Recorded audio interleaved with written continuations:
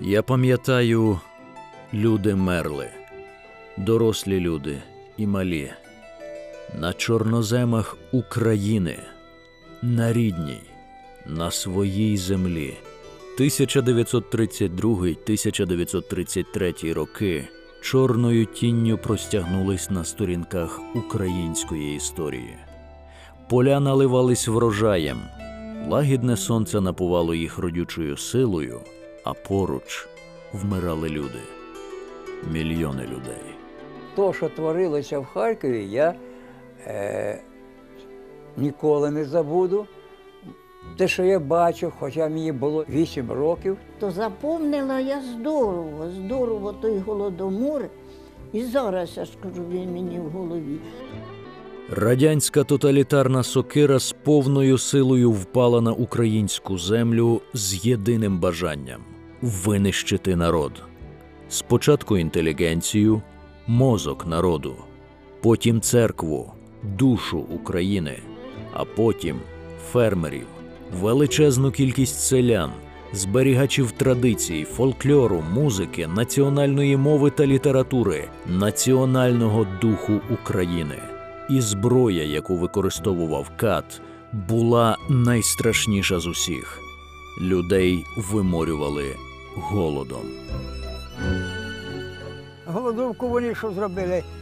Урожай то був, я би сказав, що не врожай, та не, не дорог, та не було нічого. Вони спеціально от, от, там Сталіна це все було. На Україні голода не може бути. Не може бути. Його може тільки зробити. Тут палку воткни, вона росте на Україні. У людей було все, а не стало нічого. Встановлення для України надмірних хлібозаготівельних планів, завідомо нереальних до виконання, а також вилучення у людей усіх харчових запасів було рівнозначним затвердженню плану винищення цілого народу, свідомого, волелюбного. Забрали все, забрали. В основному русські. З братом шукали черв'ячки в коробочку, принесемо, мати на сковороду нам пожарить їх, такі сухенькі зробить. І отим ми питались. Поїли все. Поїли люди свої черевики, чоботи, оте, що від коней були ті вішки, все це кожухи поїли. Я пам'ятаю, що вже все, що було кожане, все було з'їдене. У 33-му, на який припав пік смертності, голод косив по Україні щохвилини 17 людей, щогодини тисячу, щодня 25 тисяч осіб. В ті моторошні дні смерть перестала сприйматись як надзвичайне явище. Теперішнє покоління не знає, що таке голодомор, що, що слово голодомор. А на нас, не у мене, це велика рана. Людина ну, тірає розсудок просто.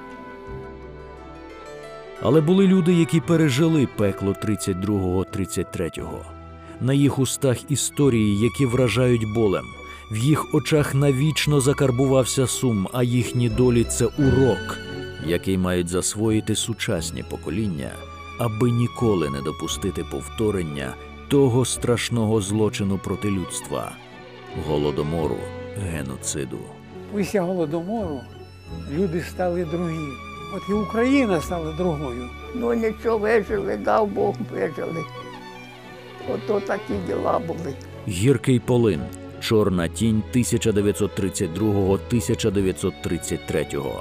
Спільний проект Міністерства культури України та Національного музею Меморіал жертв голодомору. На екранах вже незабаром. Thank you.